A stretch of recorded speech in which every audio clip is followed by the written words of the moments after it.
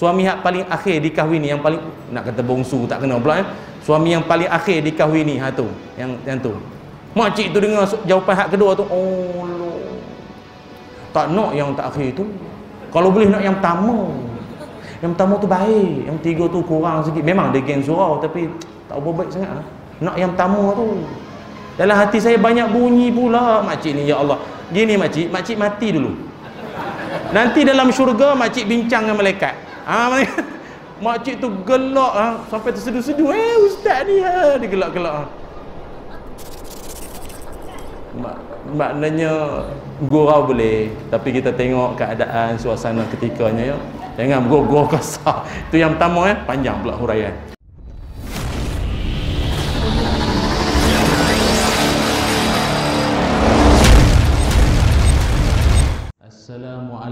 Assalamualaikum warahmatullahi wabarakatuh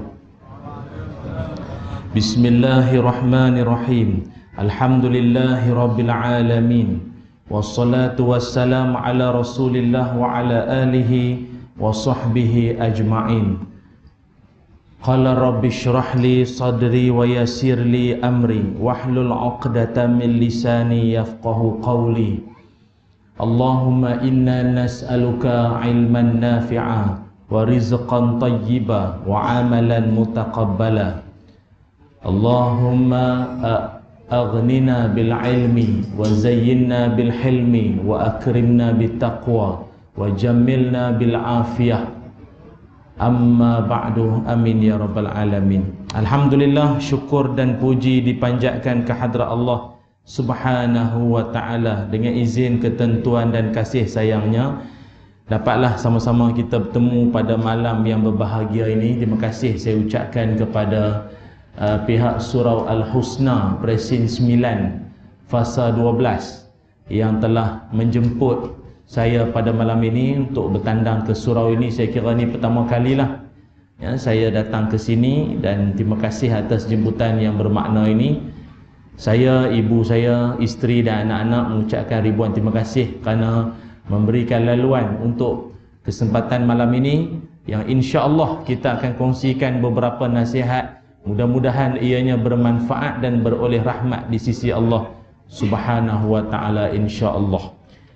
Tajuk yang akan kita bicarakan pada malam ini iaitu berkaitan tentang perangai-perangai yang dibenci, yang tak disukai oleh Rasulullah sallallahu alaihi wasallam. Tajuknya ialah perangai maupun sifat maupun sikap yang tak disukai oleh Nabi atau ada di kalangannya itu nanti dibenci oleh Nabi. Maka kita ni sebagai umat kesayangan Nabi Muhammad sallallahu alaihi wasallam kita nak cuba belajar apakah sifat-sifat yang Nabi sangat benci dan Nabi tak suka kalau umatnya buat yang mana perbuatan-perbuatan itu kita takut ia menjadi penghalang antara cinta kita dengan Nabi Muhammad sallallahu alaihi wasallam.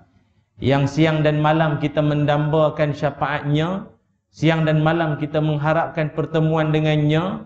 Lalu ada di kalangan kita ini amalan-amalan kita itu bercanggah ataupun bertentangan dengan apa yang Nabi ajarkan atau Nabi perjuangkan selama ini. Jadi insya-Allah pada kesempatan malam ini saya akan kongsikan beberapa sifat-sifat yang Nabi sangat tak suka kalau sebelum-sebelum ni kita ada sebut tentang apa laukana bainana kalaulah nabi ada di kalangan kita. Begitulah kita bayangkan kalau nabi ada dalam majlis ni, kita pun duk buat perangai macam tu, apa perasaan nabi agak? Kalau tengok umat dia buat berkelakuan sebegitu, apakah kelakuan, sifat dan perangai itu? Jangan ke mana-mana, kita akan kembali selepas ni. Oh tiba-tiba pula macam Nabi dah macam live dah ni, kamera 2 3 4 pacak dah ni. Dah macam dalam studio dah ni. Cuma dalam studio tu saya dengan kamera kan. Kadang-kadang macam tak sihat pun ada. Apa khabar semua para penonton? Mesti semua sihat kan? Sendiri tanya, sendiri jawab. Ha, tu tak apa sihat tu. Macam tuan-tuan saya nampak agak muka riak. Ada senyum, ada tidur pun ada. Okey lah. Tuan-tuan yang dirahmati Allah. Jadi pada kesempatan ini insya Allah saya akan kongsikan beberapa sifat dan perangai yang Nabi tidak suka. Yang pertama, nombor satu. Perangai yang pertama. Yang pertama sekali ialah jadi tuan-tuan kalau boleh ada ruang tu mai ke depan sikitlah kalau boleh ya. Nampak kawan kita makin tambah jumlah ni. Yang pertama sekali ialah sifat yang Nabi tidak suka kalau kita buat. Oh, tu dia. Uh, pemilik kenderaan WSN 2643 MyV menghalang laluan mohon alihkan dengan segera jika tidak ditolak ke sungai. Ha gitu ya.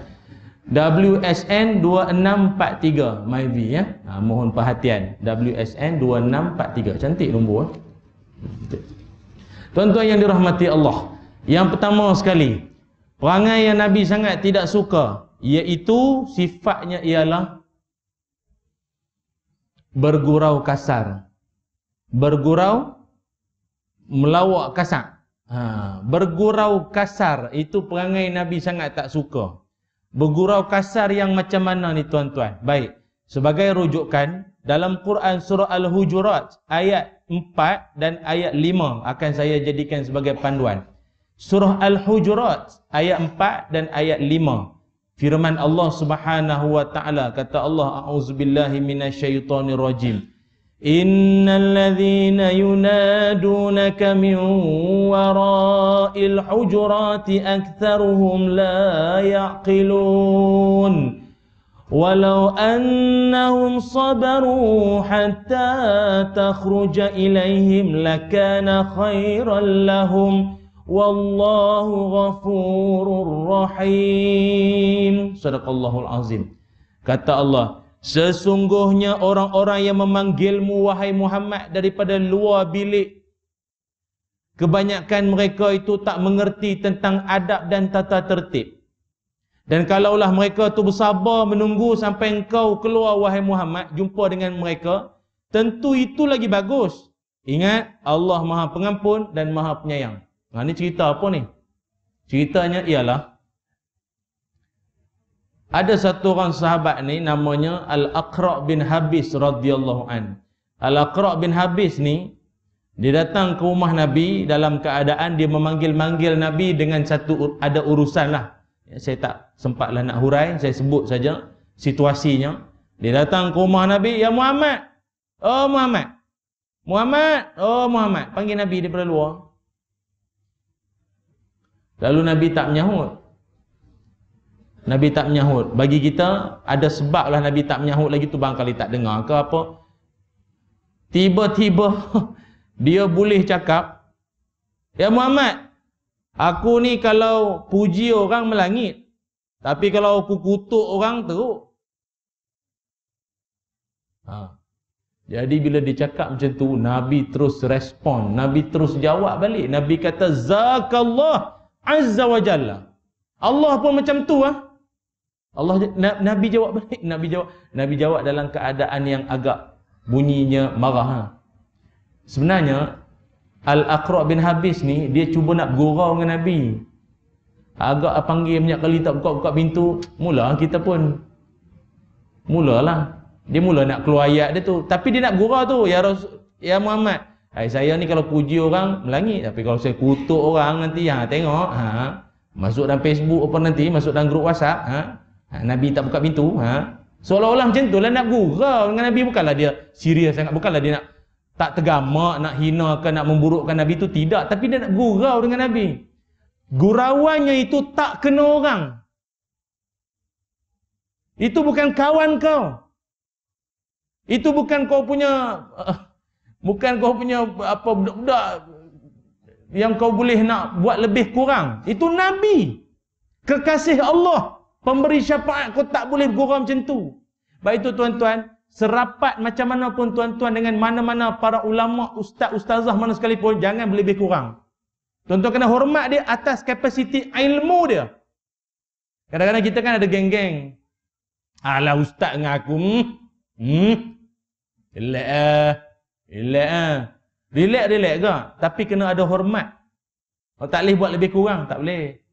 Sebab itu dalam hal ni, Nabi malah Islam mengajar, nak gurau silakan. Tengok siapa yang kau nak gurau itu. Pernah pernah satu kali itu uh, forum ah, ada satu forum. Saya panel, itu ada panel seorang lagi. Ni cerita ni habis sini lah. Nah. Habis sini apa kamera semua dah. Sekarang ni dah tak ada privacy lah. Semua cerita semua satu dunia tahu. Jadi tak apalah. Uh, moderator tu. Moderator tu entah macam mana dia naik share sebab itu moderator ni tuan-tuan janganlah tersalah orang. Kalau dia tu memang penceramah jadi moderator ha tunggu. Dia yang ceramah sekejap lagi. Lepas tu dah pumpang-pumpang eh macam saya pula yang berceramah. Alah. Cakap kat setengah jam mengalahkan panel baru sedar diri.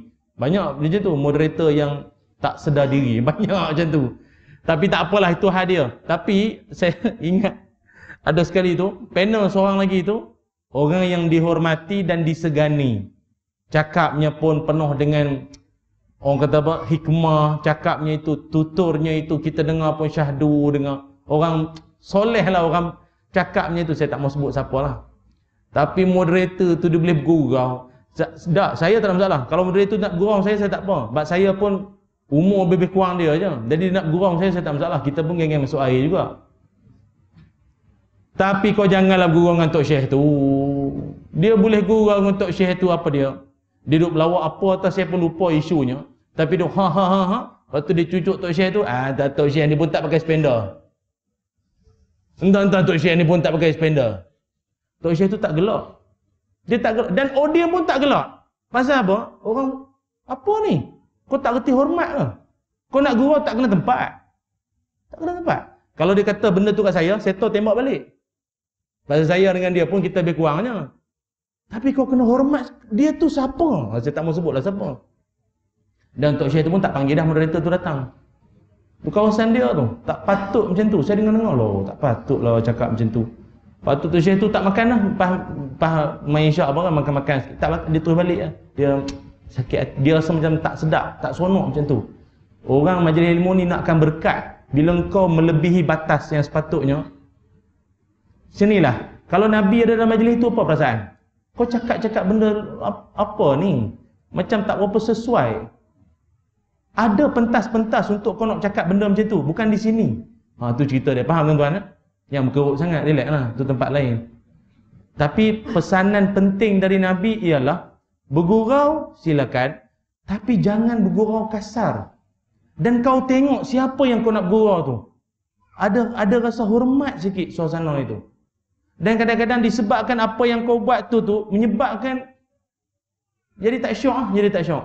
Baik itu ayat sambungannya Tuhan sebut kata Allah Taala walau annahum sabaru hatta takhruja ilaihim lakana khairul lahum Kalaulah mereka bersabar menunggu sampai engkau keluar wahai Muhammad, tentu itu lagi bagus sabar sekejap, tunggu. Sabar, sabar, sabar. Baik itu kadang-kadang tuan-tuan yang saya muliakan, setengah pengurusan program kita kadang-kadang tak berapa nak bagus sangat ya. Buat berlebih kurang, berlebih kurang terhadap saya tak apa, saya cak ayam ya. Ni, orang-orang alim ni kena ada rasa hormat sikit. Pengurusan jemputan, meraihkan, kena ada rasa hormat. Pernahlah dulu sekali ni buat ingatan bersama lah. Kita kalau layan orang tak apa nak elok, orang tu pun serik jadi. Tahu serik? Serik apa tobat lahum. Ha, tobat lahum. Tobat lahum. faham kau yang tobat lahum eh? Tak faham tak? Tobat tu. Adalah satu penganjur dulu pernah jemput kita ceramah. Jadi dia berurusan dengan pembantu kita. Okey.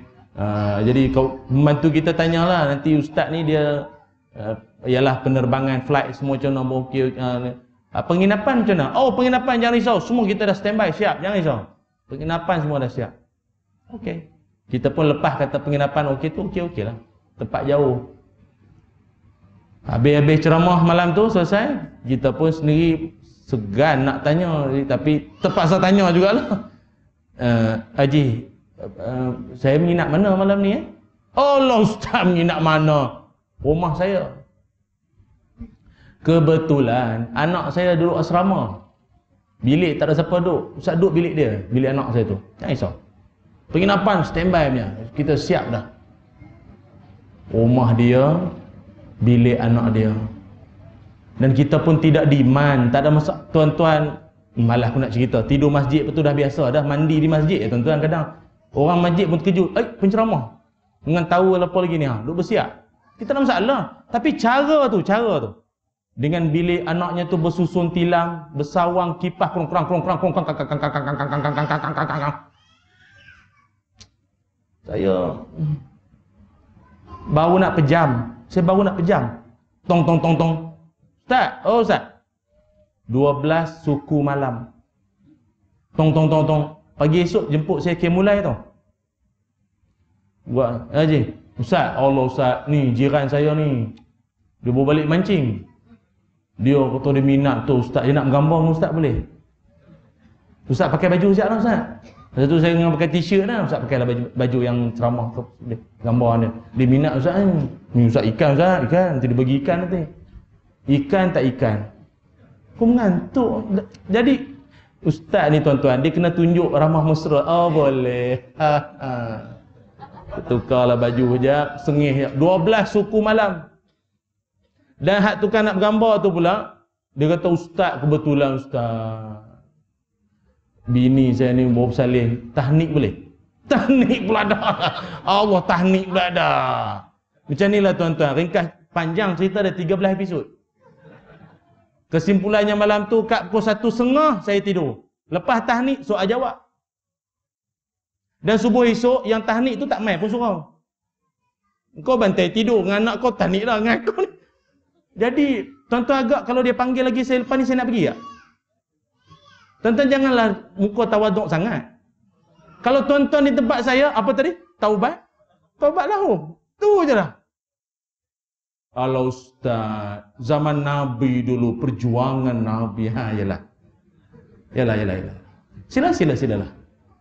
Saya bukan soal kami ini tidak sabar, tidak apa. Soalnya ialah, Bagaimana cara kita melayan orang-orang menyampaikan ilmu ni? Tu paling penting. Saya tak maulah buat perbandingan macam orang selalu buat. Oh bayar artis boleh, bayar ustaz banyak ni. Saya tak mau itu. Nanti nampak sangat dia punya bunyi tak apa sedap. Cukuplah sekadar memberikan privacy pada dia, memberikan layanan yang supaya kalau boleh lepas ni dia pun seronok nak datang lagi. Tu cerita dia. Kita pun manusia kan ustaz ni pun human being. You know human human being? manusia biasa nakkan ada masa rehat sekejap, nakkan privacy dia, kena faham benda tu. Kita ustaz-ustaz layan je orang, apa nak buat? Tu yang pertama ya, jangan gurau, gurau orang, gurau kasar. Jangan gurau kasar dengan orang. Di zaman Nabi Muhammad sallallahu alaihi wasallam, Nabi sendiri pun gurau, tapi Nabi ni gurauannya itu penuh dengan orang panggil apa? Hikmah ya, penuh dengan hikmah. Pernah sekali Nabi sallallahu alaihi wasallam. Ini kisah ni tuan-tuan pun biasa dengar ya, Nabi bergurau dengan seorang makcik. Yang mana makcik tu jumpa Nabi dia kata ya Rasulullah udu Allah an tudkhilanil jannah. Ya Rasul doalah makcik ni masuk syurga, doalah. Nabi kata ya ummu fulan makcik, innal jannata la tudkhulaha ajuzun. Tak ada yang masuk syurga tu tua-tua lah makcik. Makcik-makcik tak ada masuk syurga, tua-tua tak ada. Yang tua-tua tak ada masuk syurga. Menangis makcik tu. Lah. Tak masuk syurga lah. Bila Nabi tengok macam tu Nabi beritahu sahabat semua panggil balik makcik tu. Ukhbiruha anha la tadkhuluha wa hiya ajuzun. Bagi tahu makcik tu balik. Bagi tahu dia dia takkan masuk ke syurga dalam keadaan tua. Ha, artinya syurga ni semuanya orangnya muda-muda. Faja'alnahunna abkara. Al-waqi'ah ayat 35 sampai ayat 37 ha tu yang masuk syurga semuanya muda-muda kalau saya sendiri pernah ada macam-macam tanya soalan macam tu ustaz Nanti makcik ni masuk syurga nanti ni jumpa dengan suami yang mana? Suami makcik ada tiga. Oh, Bukan kahwin mati, kahwin mati, kahwin mati. Yang hidupnya makcik, yang matinya laki. Dia je lah yang mati yang umur pendek. Jadi nanti jumpa dengan suami yang mana dalam syurga nanti? Suami yang mana? Saya pun bagi lah. Saya pun belajar-belajar agak makcik. Saya pun bukan tahu sangat. Tapi saya boleh bagi tahu pandangan yang pernah saya dengar. Kata ulama, ada beberapa. Pertama sekali, akan ditemukan dengan suami yang paling baik di antara tiga itu. Atau, akan ditemukan dengan suami yang terakhir dikahwini. Suami yang paling akhir dikahwini. Yang paling, nak kata bongsu, tak kena pula eh. Suami yang paling akhir dikahwini. Ha tu. Yang, yang tu. Makcik tu dengar jawapan hak kedua tu, oh lo. Tak nak yang tak akhir tu. Kalau boleh nak yang pertama. Yang pertama tu baik, yang tiga tu kurang sikit. Memang dia geng surau tapi tak apa baik sangat. Nak yang pertama tu. Dalam hati saya banyak bunyi pula makcik ni ya Allah. Gini makcik, makcik mati dulu. Nanti dalam syurga makcik bincang dengan malaikat. Ah ha, makcik tu gelak ha, sampai terseduh-seduh. Eh ustaz ni ha, dia gelak-gelak. Ha. Mak, maknanya gurau boleh tapi kita tengok keadaan suasana ketikanya ya. Jangan bergurau kasar. Itu yang pertama ya, panjang pula huraian. Yang pertamanya ialah jangan bergurau kasar. Yang kedua, perangai yang Nabi sallallahu alaihi wasallam tidak suka. Nabi tak suka kalau kita duk buat perangai itu. Apa dia? Yang keduanya ialah tidak menyahut atau tidak menyebutkan nama apabila ditanyakan. Nabi tak suka. Nak kata benci itu tidaklah tahap Nabi benci. Tapi Nabi tak suka kelakuan itu. Macam mana ni tuan-tuan? Tidak menyebutkan nama apabila disapa atau ditanya. Pernah satu ketika Jabir radhiyallahu an menceritakan ataitu Nabi sallallahu alaihi wasallam fi dainin. Aku ni satu ketika kata Jabir aku pergi ke rumah Nabi. Aku ketuk-ketuk pintu rumah Nabi, ketuk pintu rumah Nabi kemudian pergi salamlah. Assalamualaikum, assalamualaikum pada Nabi. Kemudian Nabi daripada dalam rumah Nabi tanya, "Manza?" Manza tu maknanya siapa tu? Lalu Jabir pun menjawab, "Ana." Saya. Aku, saya, ana. Lalu jawab Nabi sallallahu alaihi wasallam, faqala Nabi sallallahu alaihi wasallam, ana ana ka'annahu karihaha kata Jabir radhiyallahu an hadis riwayat Bukhari Muslim. Kata Jabir, masa aku uh, apa tu pergi rumah Nabi, terima kasih. Masa aku pergi rumah Nabi tu, aku bagi salam Nabi. Nabi tanya, siapa tu? Aku pun jawablah. Saya lah. Nabi jawab balik, saya, saya. Ka'annahu karihaha. Dan cara Nabi jawab tu macam, macam marah. Ha? Saya, saya. Nabi tak suka jawapan macam tu. Kalau dah ditanyakan siapa, maka bagi tahulah nama. Saya tu siapa? Ha? Ana, ana. Nabi marah. Saya ingat duduk di Putrajaya ni tak adalah kot suasana macam ni. Habis-habis kurang tekan loceng ke apa, jenguk ke tingkap dulu. Ni siapa ni minta derma ke mana ni? Itu ha, paling kuat yang tu lah. Ataupun, biasa jadi benda ni dalam telefon. Biasa jadi benda ni dalam telefon. Jenis kawan-kawan, sahabat lama telefon ke apa. Macam tu lah. Tuk, tuk, tuk, tuk, tuk, tuk, telefon bunyi, kita pun angkat. Kita pun angkat-angkat. Assalamualaikum. Waalaikumsalam. Sahabat lama. Syekh, ente apa khabar Syekh? Ente duduk mana sekarang? Amboi, mau tak dengar berita. Kita ni duduk terpingol-pingol. Siapa ni? Tapi kita ya ya ya. Um, siapa ni? Siapa ni? Siapa ni? Halo, brother, ini kawan lama. Suara takkan tak cam. Ni kawan lama ni. Saya ingat tuan-tuan pun biasa jumpa jenis-jenis macam ni ni. Kebanyakannya dari planet Marif. Dah, kalau dah ditanyakan siapa, maka jawablah. Kau ingat kau star sangat? Nak kena aku terpaksa kenal kau siapa, nak kena Google stalker dulu. Bagi tahu siapa. Perkenalkan diri. Alah ustaz nak bergurau, takkan tak boleh. Baik. Kalau dah sampai setengah jam, duk berteka-teki, takkan tak ingat dulu kan kita kata bawah, awak kata atas dulu kena rotan dengan cikgu. Apa? Eh, kena rotan ni hari-hari kena. Dan ramai kena rotan ni tak la ilaha illallah. Ada tak kawan-kawan macam tu?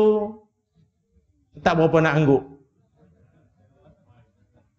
Tak tak, tak syok ah. Dia nak jemput reunion, tapi tak payahlah mukaddimah. Kau ingat aku tak ada masa. Jadi orang macam ni apa patut kita jawab pada dia? Sampai last sekali pun dia tak nak perkenalkan diri dan dia dia suruh kita teka juga. Jadi kita nak jawab apa pada dia? Nak jawab apa? Anda rasa saya ada masa untuk sakit kepala? Ah jawab itu je lah. Itu je lah jawapan yang saya ingat paling paling diplomasi sekali. Jadi tuan-tuan sekali lagi saya tegaskan, perangai macam ni Nabi tak suka. Ustaz dosa ke? Taklah dosa. Kan saya kata Nabi tak suka. Kalau Nabi ada di kalangan kita kan Nabi tak suka perangai macam tu. Jadi kita janganlah buat. Agak kalau kita kalaulah diberi peluang hidup zaman Nabi memang takkan lah. Ada Nabi di samping. Takkan macam tu kita nak berurusan dengan orang. Jangan. Dia paling banyak kali dalam WhatsApp. WhatsApp pun banyak agak macam tu. WhatsApp kan jenis lagi masalah. Gambar profil tak pakai gambar sendiri. Buh gambar Kaabah ke gambar masjid. Mana kita tahu? Senyumlah itu sedekah. Jadi kita kan tahu siapa. Eh, seronok nak ni, Pak. Cuti ke apa? Lepas tu, dah, kadang jenis WhatsApp-WhatsApp ni kan? Salam. Salam. Kita pun siapa pula lah selam ni ha. Jawab balik. Walam. Kau pendek aku pendek. Salam walam. Spur ni. Entah. Jawab balik. NTAH. Entah. La ilaha illallah. Bagi tahulah siapa awak tu yang sebenarnya. Maaf siapa ni ya? Oh ni sahabat lama saya. Ataupun kalau berurusan-urusan penting. Saya tak berapa kurang minat lah, kurang minat.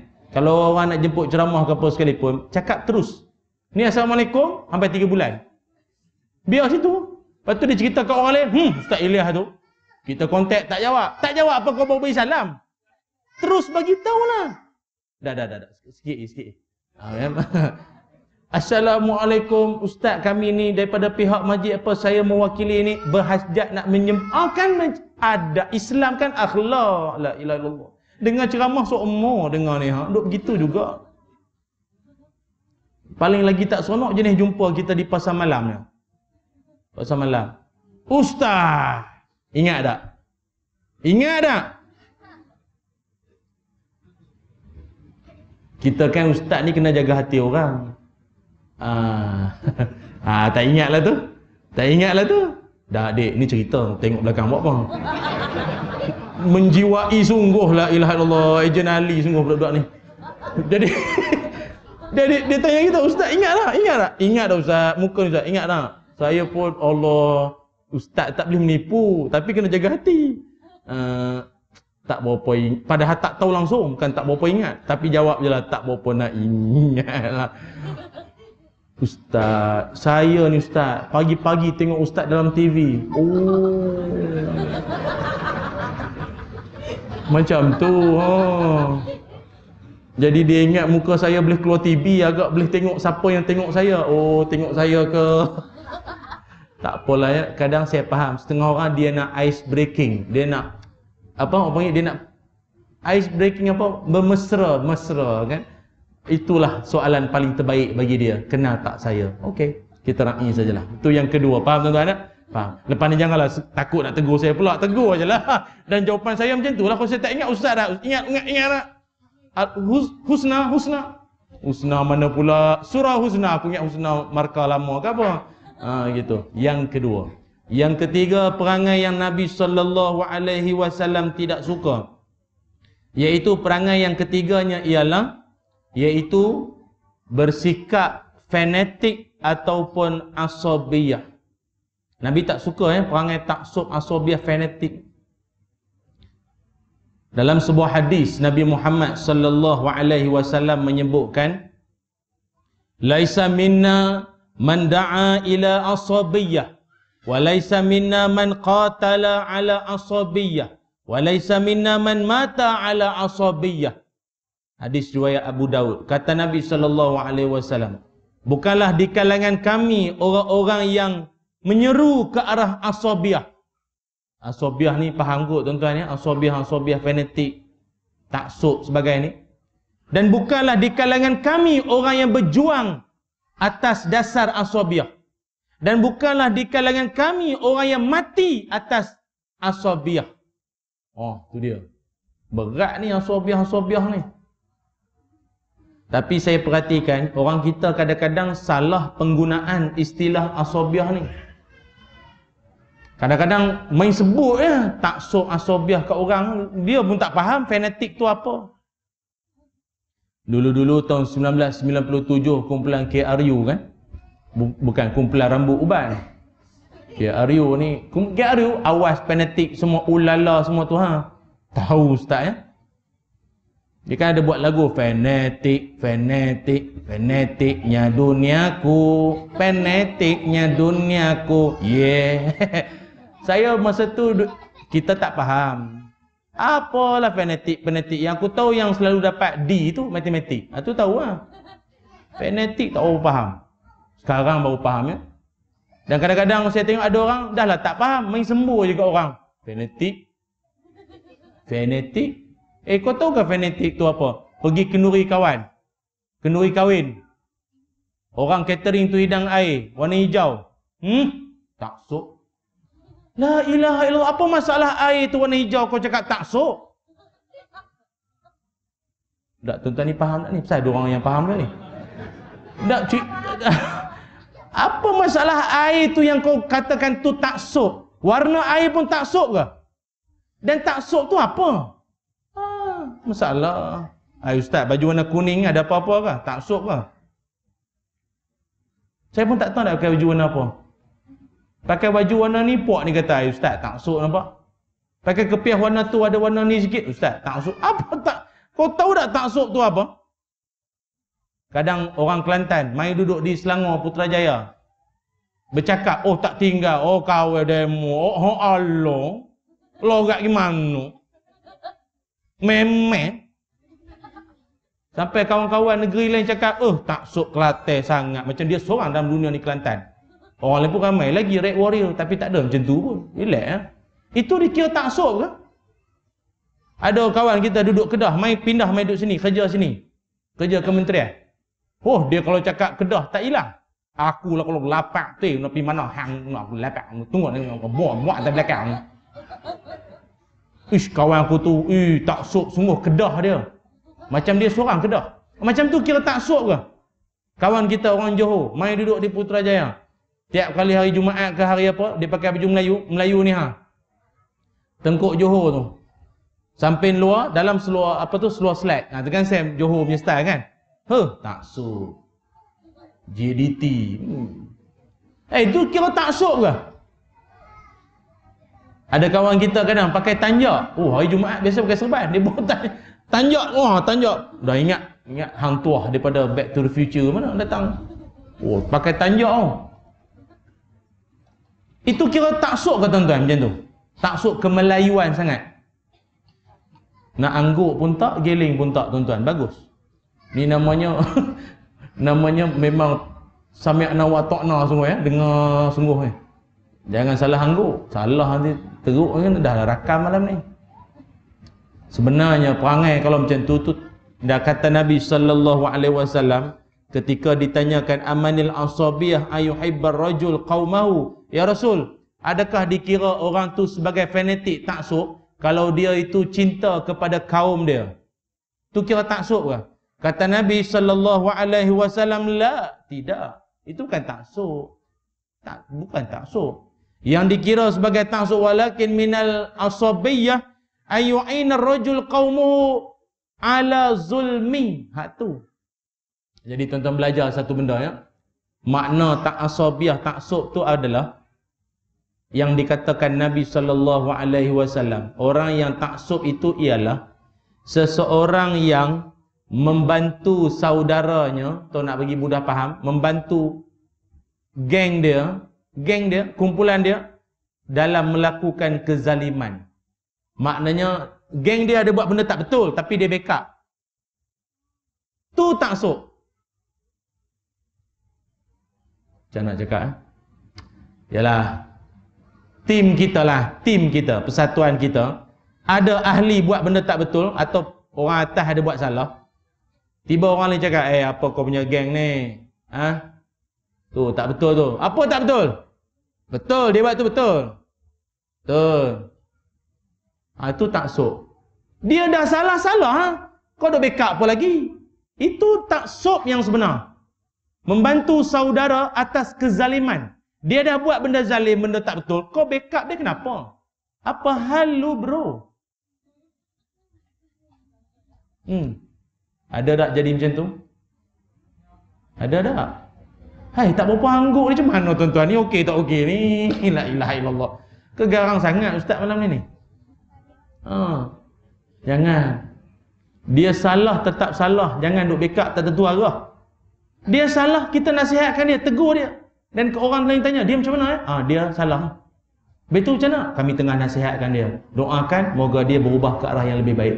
That's all, cukup. Jangan hina dia lagi. Oh, dia tu Fir'aun.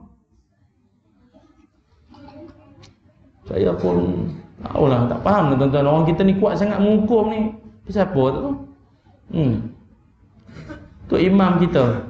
Kalau dia dah terkentut, nyata, terang lagi bersuluh. Pau. Dan tak ada siapa pun yang tak dengar. Semua dengar. Walaupun yang pakai alat pendengaran pun baterinya low, tetap dengar. Uish, maknanya kuat betul tu. Pau. Semua dengar. Dengar betul. Mak imam tu dah batal dah. Ada pula makmum backup. Eh dah dah dah. Alah kawan-kawan semua, makmum-makmum sekalian. Dia menjadi imam kita sudah 20 tahun. Sejak taman ni baru dibangunkan.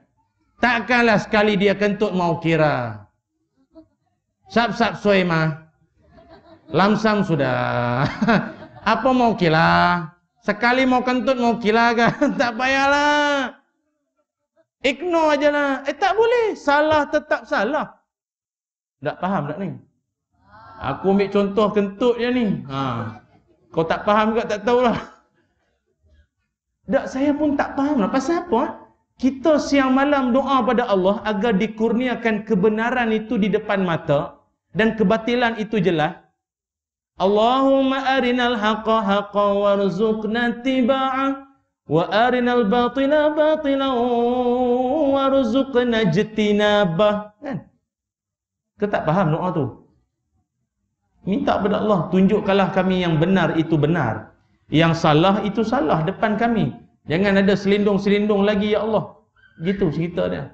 Maka saya pesankan sekali lagi, perangai yang Nabi sangat tidak suka ialah bersikap fanatik, asabiah, taksub.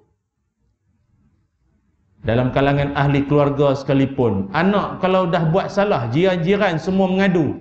Iyalah. Siasat tanya betul ke apa? Ha, dah. Tu backup anak apa lagi?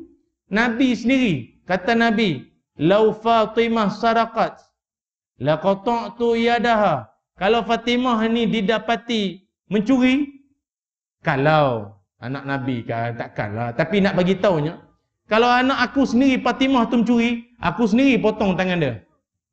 Aku sendiri potong tangan dia. Anak Nabi tak anak Nabi. Buat salah aku yang potong tangannya sendiri. Ha, itu sifat. Nabi nak mengajarkan kita hidup Siapa-siapa pula dalam kehidupan kita. Dia ada buat salah, betulkan kesilapan dia, nasihatkan dia. Jangan kita membela kesalahan, kezaliman yang dia yang dia lakukan. Ha, begitu ya. Itu yang ketiga. Yang keempat. Eh, yang ketiga keempat. Empat kan? Yang keempat kan? Yang keempat. Saya yang tulis pun lupa. Tuan-tuan yang tak tulis pula ingat. Power eh? Power. Yang keempat. Perangai yang Nabi SAW tak suka kalau kita buat. Yang keempatnya ialah ya, uh, yang ni pun kalau tak dinasihatkan ramai yang buat perangai macam ni. Apa dia? Iaitu orang-orang yang menjauh macam ni macam ni. Macam mana eh, nak ramai nak nulis ni. Jadi saya tengah nak susun ayat bagi faham. Ah. Ram, uh, uh, perangainya apa dia? Melakukan sesuatu yang menyebabkan orang jauh daripada agama melakukan sesuatu perkara walaupun perkara itu ibadat tapi cara pelaksanaan itu menyebabkan orang jauh daripada agama ataupun senang fahamnya orang rasa eh payahnya Islam payahnya Islam ya Allah barangkali dia tu orang yang dulunya hidupnya ke laut faham ke laut bukan nelayan. Ke laut ni apa? Tunggang langgang hiduplah ya aau ni semua hidup tak ingat Tuhan semua ni. Tiba-tiba kembali ke pakai jalan 2020 ni ada dapat hidayah mana tak tahu. Tiba dia ada kesedaran. Allah dia baru tahu ya Allah payahnya Islam ni. Ha, macam itulah. Jadi itu perangai pun Nabi tak suka. Jadi oleh kerana itu saya rasa kita telah pun masuk waktu solat fardu isyak. Kita bagi laluan dulu pada azan isyak dan jangan ke mana-mana kita akan kembali lagi selepas ini insya-Allah.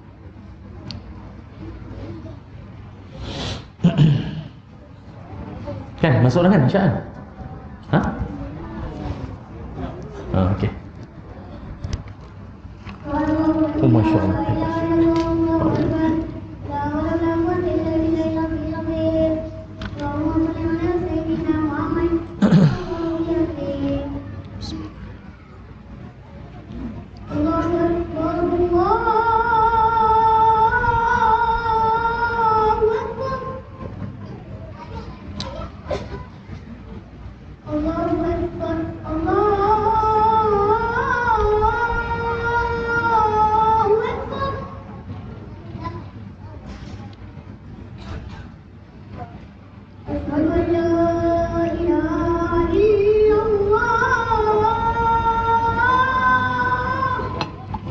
Asyhadu an la ilaha illallah.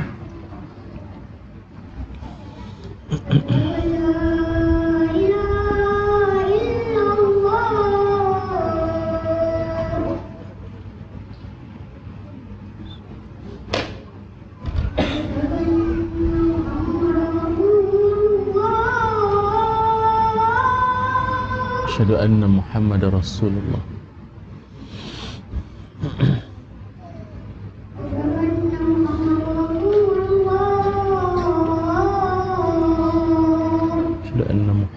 Muhammad Rasulullah.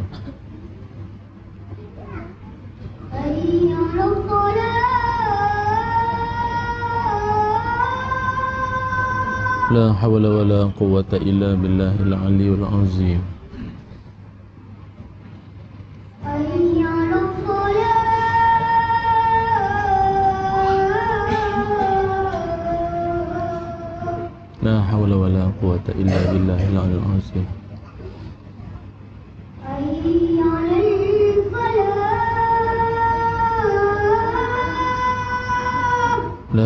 La hawla wa la quwwata illa billahil aliyyil azim.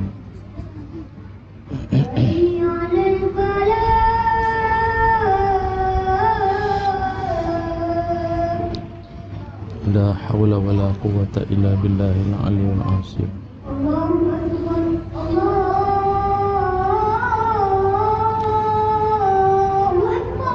Allahu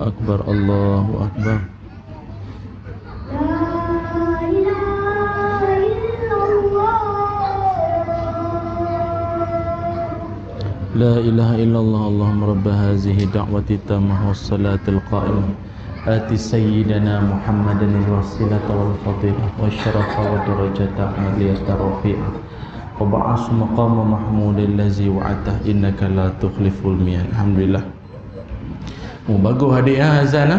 Bagus ya. Nama apa sayang? Alung? Ha? Darwish, Darwish. Darwish Fitri. Oh, sedap? Darjah berapa sang? Darjah 6. Oh. Ustaz dulu first time azan dulu darjah 4 masa tu. Darjah 4 first time azan. Lepas tu pula yang bestnya Ustaz hayya alal falah dulu baru hayya alal solah. Kena tarik sekber dengan pakcik surau. Hmm, tarik. Oh, tak hati azan jangan duk azan. Oh. Habis pakcik tu lambat sampai aku azan dulu. Kira adik ni power lah. Power. Hebat. Darjah 6 eh.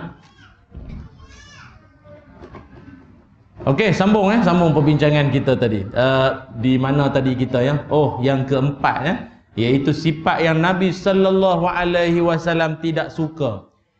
Yang keempatnya ialah iaitu Nabi tidak suka orang-orang yang menyebabkan kelakuan, tindakan maupun sifat dia itu menyebabkan orang rasa agama itu payah.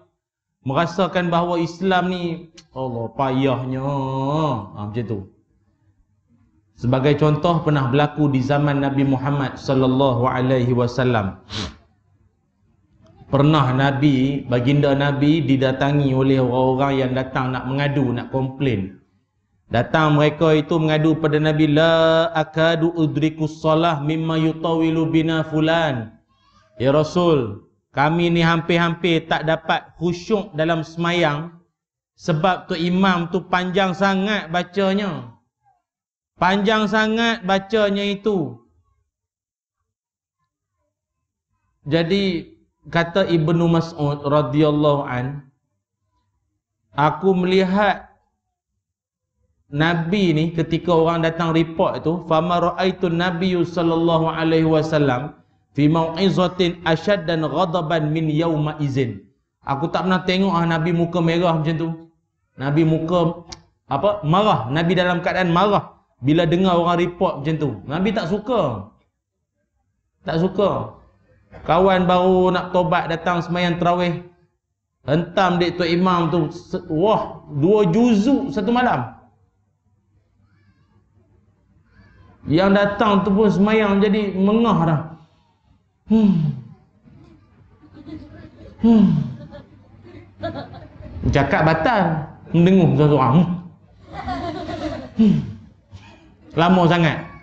Ayat kalau familiar tak apa. Ayat-ayat Quran yang dalam-dalam dia pun tak mengapai pun. Ayat Muqaddam tu boleh gagah lagi.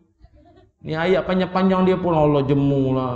Kita orang Melayu ni bukan cara Orang Melayu ni sedap sedap pun panjang-panjang tak larat juga dulu kan Syekh Jibril kan Qori daripada Mesir datang majid wilayah majid wilayah jalan duta kan kan dia baca sedap rakaat pertama menangis-nangis orang rakaat kedua kat ngeluh oh lama tu Arab ni lama lama tu tak larat orang tak larat bunyi start motor dah habis rakaat kedua tu bunyi start motor dah bayanglah tu baru Jibril tu kalau Mikail datang saya tak tahu lah. Nama, nama dia lah Syekh Jibril. Qori hebat tu. Jadi Nabi bila dengar orang komplain tu imam baca panjang sangat. Uh, Nabi pun bagilah nasihat. Nabi marah orang tak suka dan Nabi nasihatkan. Kata Nabi ayuhan nas innakum munaffirun faman shalla bin nas falyukhaffif Kata Nabi sallallahu alaihi wasallam, wahai sekalian manusia, kalian ni ah, korang korang ah, bahasa budak-budak WeChat ni. Ah, korang kalian semua kalau jadi imam jangan sampai menyebabkan orang rasa macam aduh payahnya nak semayang payah. Panjang sungguh baik aku semayang sendiri. Dia lah baru datang first time malam tu. Kalau dia tahu baik dia semayang surah Petronas. Daripada surah Husna ni, oh panjang. Biar aku pergi surah RNA lagi senang. Maka Nabi berpesan, siapa-siapa jadi imam, maka ringankan. Sedang-sedang saja, jangan keterlaluan sangat. Baik itu kalau imam, bagusnya bila dia datang tampil ke depan, sebelum nak semayangkan, biasanya dia punya briefing ringkasnya itu sawu sufufakum fa inna taswata sufuf min tamamis salah kan?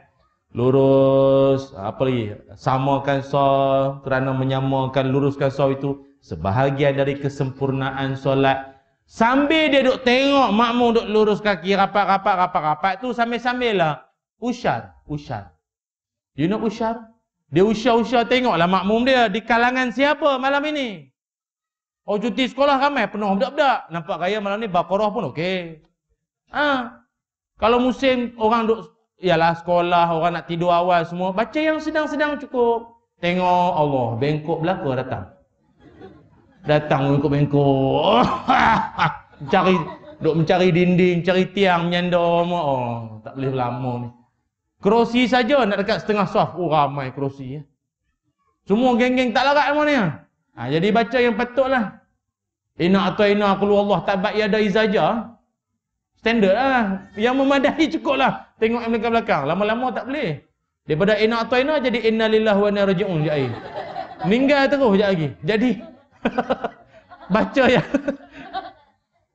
yang okey je lah. Yang okey-okey lah. Yang sedang-sedang lah. Yang melampau-lampau kan.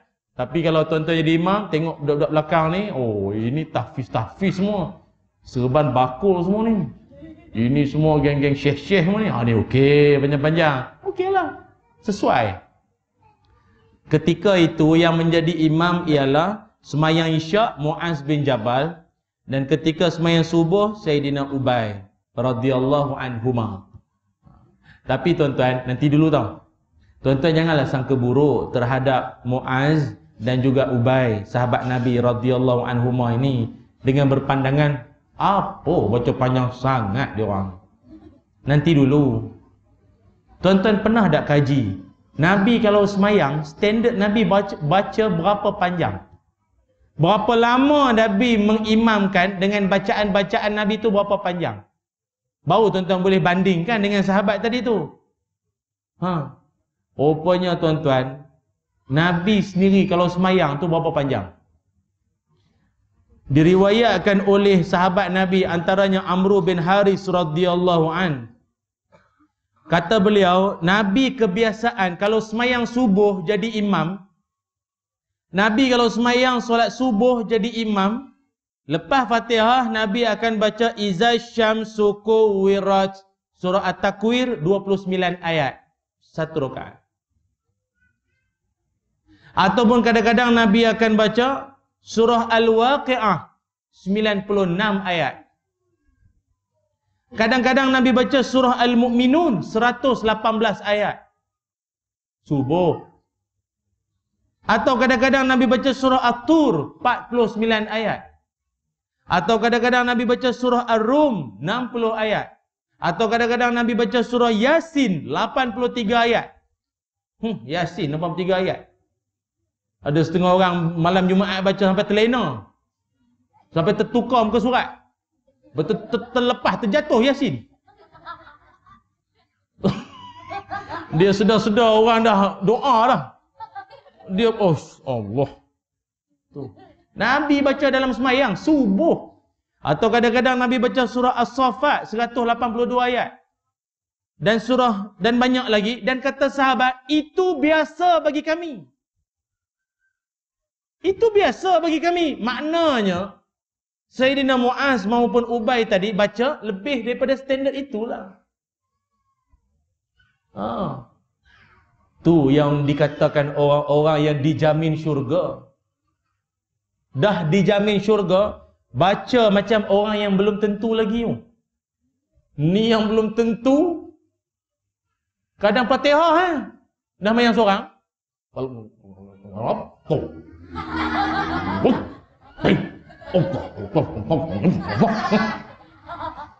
Hmm, dah, saya dah kita bukan apa kadang malu dengan malaikat. Malu lah. Lepas tu pas mayang minta syurga. Allah. Semayang lebih kurang.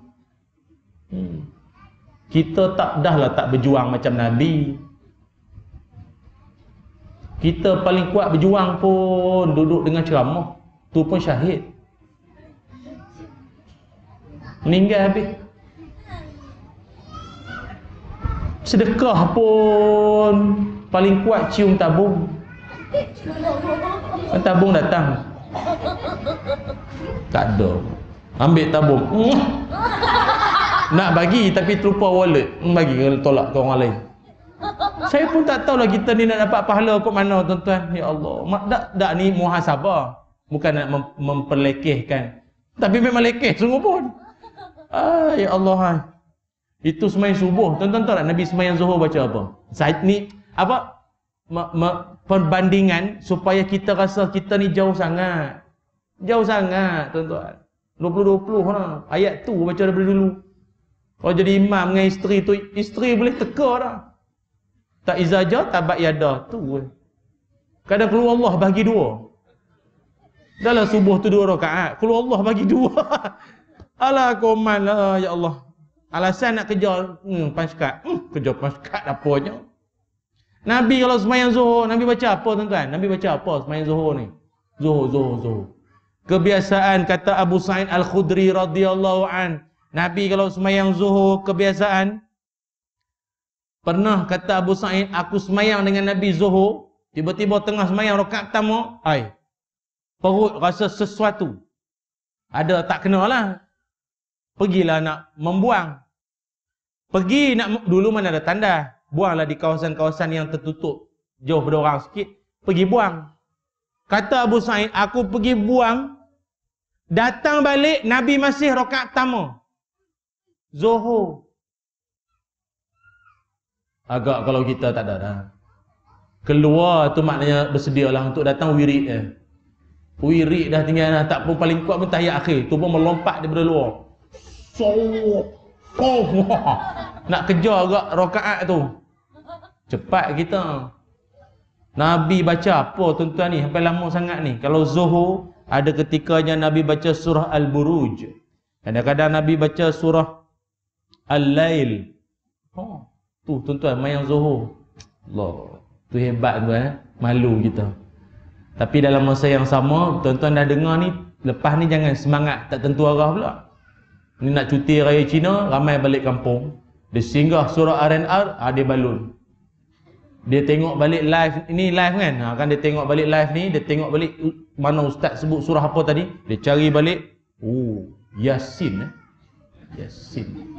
Syurga sin betul-betul dia pergi sembahyang surah RNR orang semua pelawar dia. Dia akan ada janggut sikit. Segenggam janggut. Orang kita nampak janggut sikit imam ah hak, hak, hak licin ni tak berapa ada. Tak berapa nak imam ni dia tolak dia oh, rumah elok lah. Yasin. Dia pulun baca Yasin tuan-tuan. Orang belakang saya tak tahulah. Hmm. saya, saya dulu pernah sekali lah dulu. Lama lah dah lama lah singgah RNR nak semayang. Tengok dalam surah RNR surah RNR kan bukan buka besar mana pun. Penuh. Penuh penuh. Dia biasa orang kita nak jemaah ni biasa dia suka maghrib. Ha, dia suka ramai jemaah jadi saya tengok, oi penuh surau ni. Ambil semayang siap-siap, tunggu sekejap.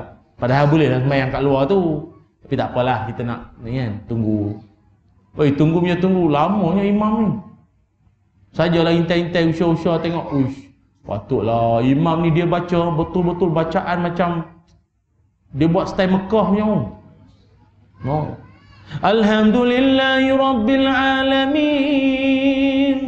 الرحمن الرحيم مالك يوم الدين Allah bukanlah apa betul lah baca Fatihah tapi janganlah sampai nak lanjut-lanjut sangat lepas tu habis tu saya ingat kalau dia ambil ayat muqaddam apa dok Baqarah dia ambil ayat tengah-tengah tu dia tebuk yang tengah-tengah tu fuh panjang tu jadi adalah seorang pakcik itu tak tahulah dia ni balik pada kenuri ke mana dengan bawa bunga telur lagi dengan baju batik yang agak dia pun panas kot tension ni. Dia kata ke ke kami-kami ni semua dia kata baca panjang-panjang balik rumah ha. Orang tua kadang dia tak tahu volume dia. Derah dia cakap tu. Kuat dia cakap tu. Imam tu dandan rukuk. Allahu akbar. saya tak tahu sama ada dia dengar ke tak dengar saya tak tahu tapi macam macam entah-entah dia dengar kuat. Orang tu kadang tak tahu nak cover suara. Rukuk terus agak dia tahu ada orang marah ni. Tapi paling syok sekali saya tak boleh lupa sampai ke tempat sleeper sampai ke tempat sleeper dia boleh kata tengok Hindustan 2 jam boleh. Semayang lama sikit tak boleh. La ilaha illallah. Kau banding dengan tengok Hindustan? Apa masalah kau pak cik tak nak baca panjang ni boleh tak tuan-tuan? Apa boleh tak bolehnya pula memang Nabi duk buat. Tapi boleh tak tengok suasana, keadaan dan keperluan ketika itu? Dan masalahnya kau semayang seorang di rumah tak panjang macam tu pun. Oh depan orang naik share. Ada kan orang macam tu? Orang semayang seorang-seorang, saya ingat petihah paling kuat pun. Baca keluar. Walau. Bah. Pasal orang tak dengar dan tak ada nilai-nilai komersial. Tak ada orang dengar sangat. Sebab tu dia buat lebih kurang. Kadang malaikat pun confused. Eh, kau main seorang pendek kan? Depan orang panjang pula macam. Ah, malu lah kita ni tuan. Jadi ingat. Jangan menyebabkan kita ni. Menyebabkan orang rasa agama ni payahnya, susahnya dengan kita ni tuan-tuan. Faham tuan-tuan ya? Oh dah faham cukup lah. Setakat ni je lah ceramah saya malam ni tuan-tuan. Mudah-mudahan ianya bermanfaat dan beroleh berkat di sisi Allah Ta'ala. Eh, macam tak bersedia nak berhenti atau nak lagi ke apa? Pukul sembilan dah ni. Kita nak. Sikit lah, sikit lagi. Sambung sikit lagi ya. Minat tuan-tuan ya. Bagus eh. Saya sajalah test market. Ha, nampak gaya permintaan tinggi lagi. Okey lah. Ha, saya tunggu juga kok kaki dah lenguh, angkat turun. Lep. Tak ada. Semua tegak. Eh, duduk. Bagus eh. Alhamdulillah. Ini memang tanda-tanda orang surah husna ni selalu majlis ilmu ni. Tahniah eh, tahniah. Jangan riak sangat. Sikit-sikit dah lah. Yang kelima. yang kelima. Apa dia yang kelima? Ha. Pesanan Nabi wasallam. Nabi ah ini Nabi marah. Oh ini Nabi marah betul ni. Perangai macam ni. Janganlah duk buat tuan-tuan orang-orang Presiden 9 pasal 12 ni khususnya. Jangan duk buat dan yang menonton live-live ni ha semua. Jangan duk buat. Iaitu janganlah sesekali meraung menjerit di hari kematian atau menangisi dengan keadaan keterlaluan. Jangan over melampau. Jangan sangat melampau-lampau. Dalam sebuah hadis Rasulullah sallallahu alaihi wasallam Nabi bersabda Laisa minna man latamal khududa wa syaqal juyuba wa da'a bi da'wal jahiliyah hadis riwayat Imam Bukhari nombor hadis 1294 hadis sahih kata Nabi sallallahu alaihi wasallam ah dengar baik-baik Nabi pesan pada kita tiga perkara Nabi kalau laisa minna ni maknanya Maknanya Nabi marah tu bukan di kalangan kami tu. Bukan di kalangan kami. Seolah Nabi kalau kalau gerunya kita sampai tahap Nabi tak macam tak mengaku umat lah tuan-tuan. Kalau macam tu. Janganlah sampai ke tahap itu. Apa Nabi pesan? Pertama sekali, bukanlah di kalangan kami orang yang menampak-nampak pipi. Orang yang mengoyak-ngoyak baju. Dan menyeru dengan seruan jahiliah. Menyeru dengan seruan jahiliah ni maknanya orang meninggal. Ah, macam tu, macam tu, macam tu, macam tu. Ah, itu. Pertama Nabi sebut menampau-nampau pipi. Dia dia sedih melampau menampau pipi. Alah mati. Dia, tak boleh macam tu. Pipi ni anggota yang dimuliakan. Sebab itu kalau di Rusia baru-baru ni ada satu pertandingan tampau pipi. Saya ingat tuan-tuan Kau tengok YouTube pula budak ni. Tak apalah ini bimbingan ibu bapa diperlukan. PG 18. Bukan you ni, bukan tontonan umum ni. Kan ada kat YouTube baru ni. Ada pertandingan dekat Rusia, pertandingan tanpa muka. Dia duduk macam duduk berhadapan macam orang nak gusti lengan tu. Ha tapi bukan lawan lengan tu. Lawan tanpa. Ting ting Bam! Betul-betul dia sepak orang tu tuan-tuan saya tengok. Dua-dua tu sadar. Eh, apa? Sasa. Sadar pula. Sasa badannya. Dia tampar kawan tu. Kawan tu bila sepak. Saya tengok. Bengong tu. Oh. Dah dia kena sepak. Geram. Dia sepak balik. Lawan-lawan. Maknanya siapa yang paling boleh tahan. Perbuatan macam tu haram. Dan mufti wilayah pun Datuk Seri Zulkifli Al-Bakri pun dah bagi komentar dalam web beliau, dalam apa tu laman sesawang beliau yang rasmi tu lah. Dah bagi komen dah tentang perkara macam tu. Haram. Walaupun dalam bentuk permainan game, apa jua bentuk, perbuatan tanpa pipi ni haram sama sekali. Cikgu sekolah, mak bapak, tanpa pipi tu haram. Tak boleh. Suami terhadap isteri, la tadribil wajhaha. Jangan tampar wajah isterimu. Jangan. Ataupun isteri jangan tampar wajah suami, jangan. Ada ke ustaz? Adalah yang saya sebut ni. Di mana ustaz Malaysia bukan Maldives. Dia tampar laki dia tahu tak? Ada ada kes lah kan panjang cerita pula. Dia tampar laki dia. Menangis lagi dia. Isteri dia, ha. Uyo. Isteri akhir zaman. Menjelang kiamat.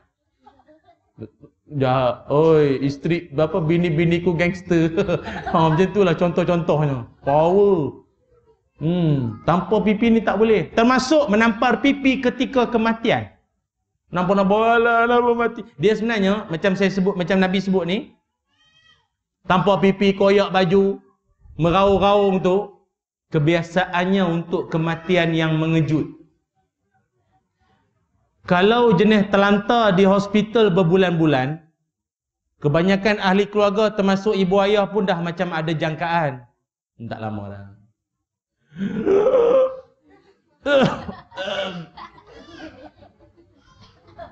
ada lagi. Oh, ada lagi.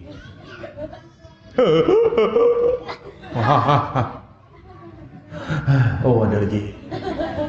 Kat dua minggu macam tu. Cuti pun habis lah. Sampai bini tanya abang, abang mati dah? Dah. Oh. Kebiasaannya bukanlah tu Tapi kalau jenis mengejut, mengejut. Baru tadi jumpa dia. Tiba-tiba kena langgar lori. Lemas di lombong. Lemas dalam swimming pool.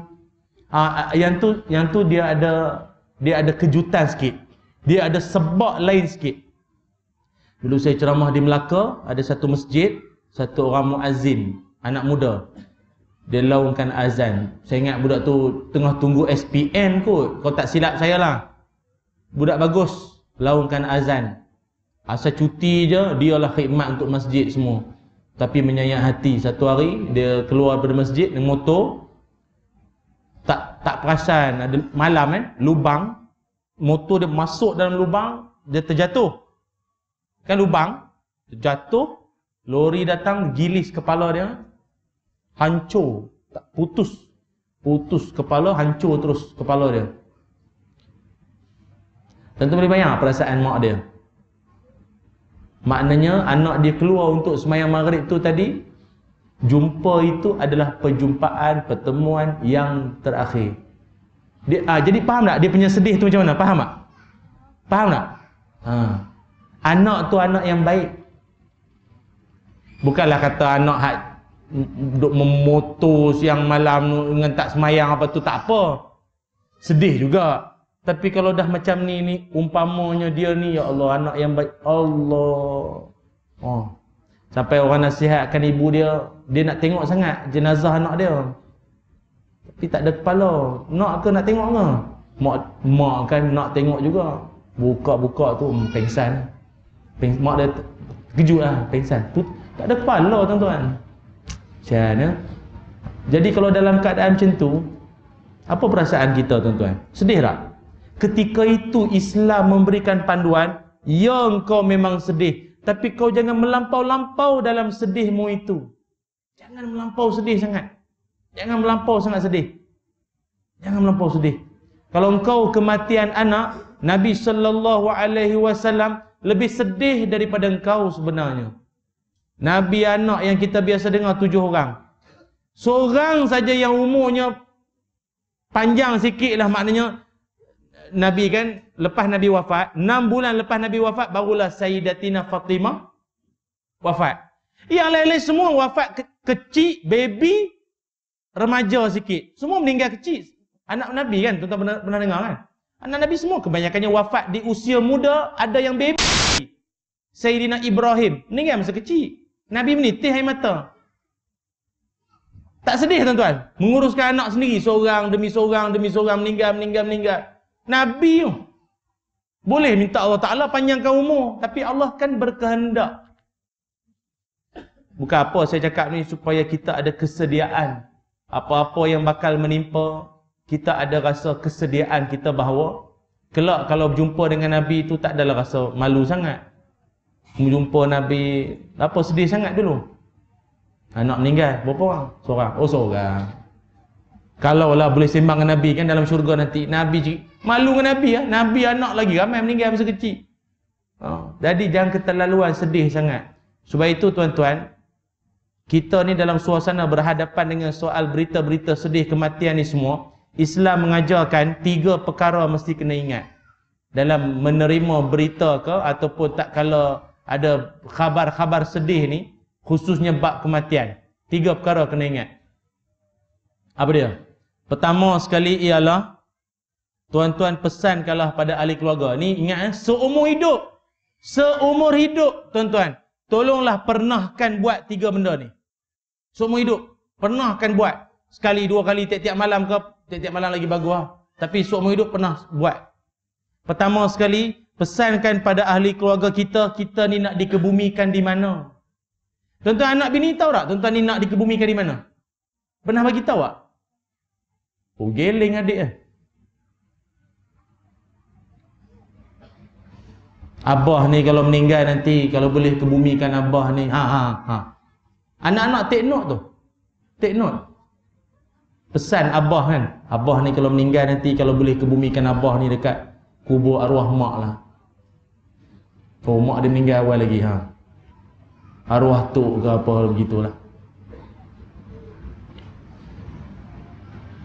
Kalau mak meninggal ni kalau boleh ke bumi lah mak ni dekat. Ah, jadi ah, faham tak? Pesankan, pesankan siap-siap. Tapi dalam masa yang sama jangan sampai menyusahkan orang yang hidup. Faham tak? Tuan-tuan punya pesanan tu pula jangan sampai menyusahkan orang yang hidup. Ha, anak-anak semua abah kalau meninggal kebumikan abah dekat perkuburan Baqi'. Madinah. Tu dia. Ngabah umrah tak pernah pergi tiba ke bumi Baqi'. Allahu Akbar. Abah ni keturunan Raja Saudi ke apa? Boleh kau tim ke apa? Minta tanah sikit. Kubur. Dahlah khairat kematian sini pun tak bayar. Nak ke bumi jauh-jauh. Oh mimpi abah aku ni. Taklah maksudnya jangan menyusahkan. Saya pun tak tahu lah. Tuan-tuan pun sama lah. Jangan menyusahkan orang hidup lah. Orang lain banyak kerja lagi. Satu hal nak mikir kita. Nak mengantar lah apa jauh-jauh sangat semua permudahkan. Lah mati nanti jumpa. Orang kita kan dia nak dikebumikan dekat-dekat lah dengan arwah tah bapak dia ke apa nanti kan. Apa dia ingat boleh mengetih bawah tu? Masuk bawah tu jumpa Allah apa? Allah. Allahumma salli ala Muhammad. Eh wangi apa? Ahli syurga. Ahli syurga. Abah pun tanya, eh lambat kau mati? Wah biasa jaga kesihatan. Umur panjang. Abah makan tak jaga membujur lalu melintang sapu. Mati awal. ha, kau ni hidup ke mati sama je bergurau. Ustaz semam macam tu ke? Wallahu alam lah mana dah tahu. Dia kalau tuan-tuan buka kitab janaiz, kitab janaiz. Jenazah ni dia akan saling berbangga. Dia dia orang ada berkunjung-kunjung. Ah dia berkunjung-kunjung tuan-tuan. Dia saling berkunjung ni jenazah ni. Dan mereka akan saling berbangga dengan kain kapan masing-masing. Jadi Nabi pesan kan, agama mengajarkan kain kafan tu kafan dalam keadaan yang sempurna elok balutan. Karena jenazah-jenazah tu nanti Alah macam ayah kita, mak kita, kita cantikkan dia masa hari raya di dunia. Macam tu lah. Jangan bungkus macam si lemak pula. Tak boleh. Dia buat tak tentu arah panggil, panggil pakar dia. Amal balut macam mana berapa lapisan dengan perempuan macam mana lelaki macam mana. Pertama pesankan di mana nak dikebumikan. Dan dalam bracket dalam kurungan tidak menyusahkan orang yang masih hidup. Kan? Sebab kebumilah di mana pun. Kan ada orang kan? Lahir Malaysia dikebumi kat England. Ada tak? Lahir Malaysia dikebumi dekat Mekah. Ada tak? Meninggal di sana kebumi sana Rakyat Malaysia ramai ke bumi dekat Mesir. Rakyat Malaysia meninggal di Turki, di kebumian Turki. Ada tak? Takkan tak jumpa nanti ngaruh ayah dia nanti mak dia takkan tak jumpa. Surah Ghafir ayat 8. Kan Allah Taala menyebutkan oh, orang yang baik ni semua ni Allah temukan balik. Syarat beriman pada Allah Taala. Tu yang pertama boleh ya? Yang kedua, yang keduanya, agama mengajarkan kalau bagi, tahu dengan anak-anak ke ahli keluarga ke waris apa, jangan menangis di hari kematian abah ke mak. Kau jangan duk jangan duk beria sangat menangis. Menangis masa hidup ni. Menangis taubat dosa banyak ke apa? Raya raya ke apa? Meninggal nanti janganlah menangis. Oh, apa, apa, no, no, no, no, no. Hidup kau tak nak buat baik apa semua. Meninggal baru nak beria menangis atas kubur ke apa. Ya. Pesan kali keluarga jangan dia sebenarnya menangis keterlaluan sangat. Apa apa yang menjadi kerisauan dalam agama kita? Apa ya? Kata Nabi wasallam, "Al-mayyitu yu'azzabu fi qabrihi bima nihi alaihi."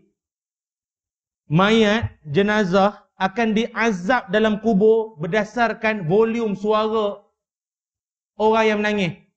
Lagi kuat, lagi kuat kena empuk mayat tu dalam kubur. Maka tidak kasihankah kita? Jangan. Sedih itu normal. Merau-rau-rau tu jangan. Memang dia meninggal mengejut. Baru semalam jumpa cium tangan ni semua. Oh ini meninggal. Jangan, jangan. Jangan melampau-lampau sangat. Walaupun saya percaya ada setengah kepercayaan dia suka upah orang untuk nangiskan. Ada. Dia upah orang untuk nangis. Lagi ramai nangis. Kadang yang menangis tu pun dia tak tahu apa sebab dia nangis. Sebab you menangis, tak tahu lah. Nangis. Dia, dia tak tahu nangis. Pasal ada setengah kepercayaan, dia orang kata kalau menangis, ramai sangat menangis, nangis. Nanti Tuhan tension. Oh, bising ah. Syurga. Oh, macam tu pula. Lakum dinukum waliyadin. Ha, itu je lah yang kita boleh katakan. Lakum dinukum waliyadin. Ha. Dan kita Islam, jangan macam tu. Jangan buat perangai macam tu. Nangis-nangis melampau-lampau sangat. Dan yang ketiganya ialah, pesankanlah pada ahli keluarga, kalau abah ke mak meninggal, tolonglah ramaikan jemaah ramaikanlah jemaah yang semayangkan jenazah ayah ni. Tolong ramaikan jemaah. Penuh, berterik-terik pun tak apa. Sebab lagi ramai orang yang semayangkan jenazah kita, peluang untuk dapat syafaat Nabi tu cerah, luas. Nabi sendiri sebut, setiap jenazah yang disembahyangkan oleh 100 orang. Riwayat lain cakap 40 orang maka jenazah itu berhak dapat syafaat aku di hari akhirat. Baik itu setengah orang, dia tunggu jemaah bayi ramai. Ramai-ramai untuk nak semayangkan jenazah ni. Pasal apa? Nak tolong kawan. Nak tolong dia. Nanti dia dapat syafaat. Boleh tuan-tuan? Pesan ahli keluarga, Abah meninggal, tolonglah ramaikan jenazah.